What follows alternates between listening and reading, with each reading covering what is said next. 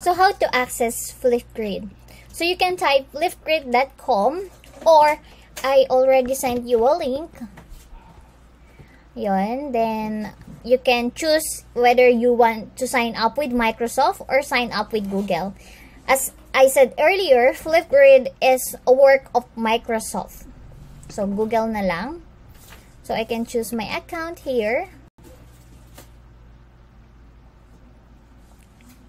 And for fairing your Flipgrid experience. So I can choose um, date, let's say 01 04 1997.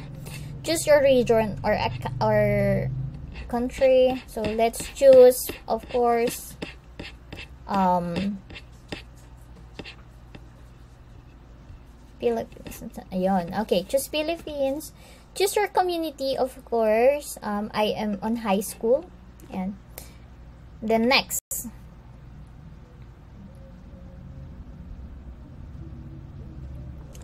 Wow, so we are now on educator group. So start learning together.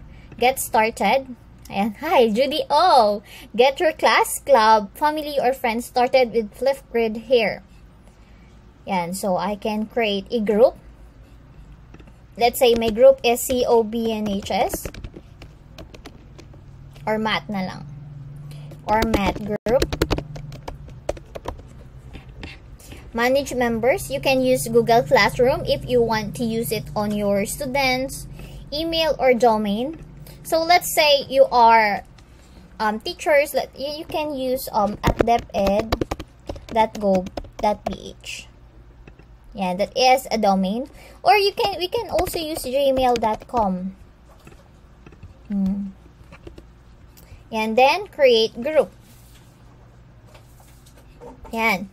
Then, your group is ready na. So, you can copy the link or you can share it via QR code, Google Classroom, code, um, copy embedded code, Microsoft Teams. O yan, marami pagpipilian. So, copy natin.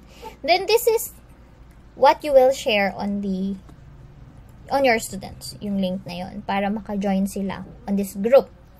Then next, you can add a topic. And it's already have a topic here. So hello, I am. So it is usually used to introduce yourself. Diba? Maganda to sa umpisa ng klase natin to use this kind of Flipgrid or to use this kind of application. Yan.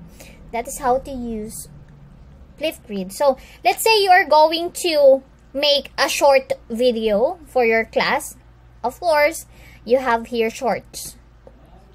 So say it with Flipgrid camera, get your point across with pens, boards, and screen captures. So I also already have a pen here. You can also use your um, tablet. Kung meron yung may touchscreen, pwede siya. But then, on my situation, I use a drawing tablet with my pen.